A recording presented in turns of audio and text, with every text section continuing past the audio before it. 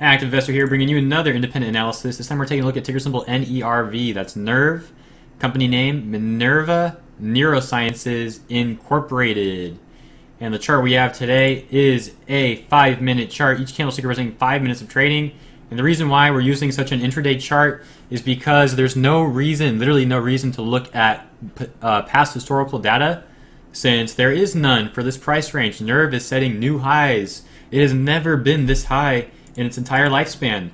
As a matter of fact, the highest it had ever been before today was $10.01. And that was all the way back in January, on January 6th of, of last year, actually. All the way back to January 6th of last year, not even this year. Um, and that was the highest it's ever been. After it hit $10 there, it fell off to about $4 and it hovered around four to six dollars for a really long time, a very long time, all the way up until recently. Actually, it pressed up to about seven dollars, and then it went from that seven dollar area. It was like literally seven dollars on the money, six ninety nine, and it fell off all the way to three forty five in about a week or two of trading. So it lost half its value. And then after making that low at 345, that's when we had this news that set it off. Our high $13.22, the highest it's ever been in its entire life. Alright, so with that out of the way, let me just mention that in case you don't know, the reason why it is spiking so high is because it announced a positive result from its Phase 2b trial of MIN 101 monotherapy in schizophrenia. So it had positive Phase 2b results. So as we know in biotech, those kind of results can send a stock flying. It's not phase 3, but it is a phase 2B, which is still very good. Alright, now with that out of the way as well, let's take a look at the chart. So we have three areas that I want to focus on. $12.23, $10.18, $8.80.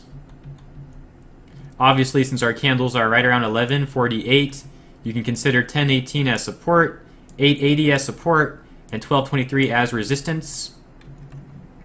Now you can see 1223 was tested a lot here, and it wasn't denied. It did break above 1223, but it couldn't hold those levels and ended up dipping.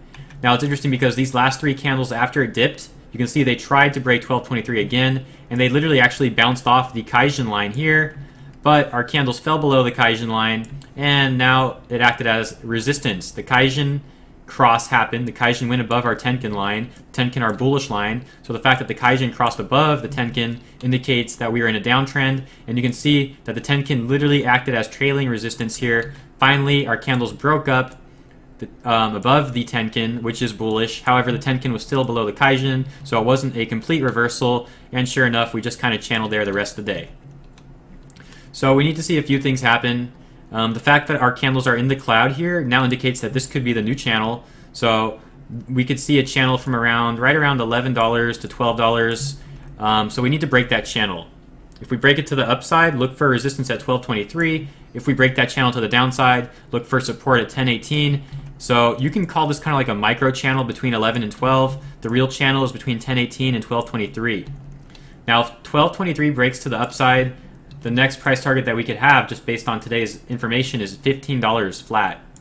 And keep in mind, like I said in the beginning of this video, we're testing levels that we've never seen before. So really, we just have to go off the data that we have here. So um, let's see, some other areas of resistance. If we kind of take a look here, you could say right around $13 could be considered like soft resistance. It would be right around like 13.20. But uh, the real resistance is $12.23. If we break that, there's really no resistance. You know, we had that high of $15. We had some resistance here, but there was no set resistance. Each candle was testing a different area. So there's really no real resistance. Even $15 isn't real resistance since we only tested it once. And um, yeah, the real resistance that we have, 1223, if that breaks, really the sky's the limit right now. We're testing new highs. We just got to see what NERV does. So this could be potentially a really interesting stock to watch. If you guys remember CPXX a few months back, that was testing some new highs as well.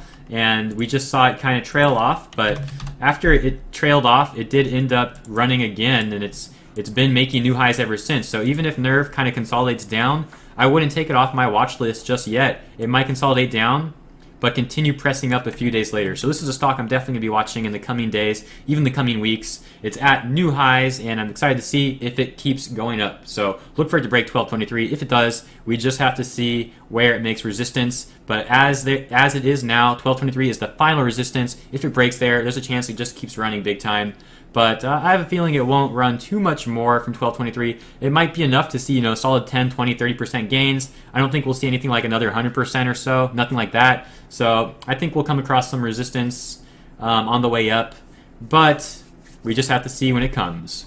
Hope this video helped you guys out. Any comments or questions, leave some feedback down below. I'll definitely take a look and let me know what you guys think. This is really interesting, the fact that we're making new highs. Um, so let's see what the stock does. I'll catch you in the next video. Take care.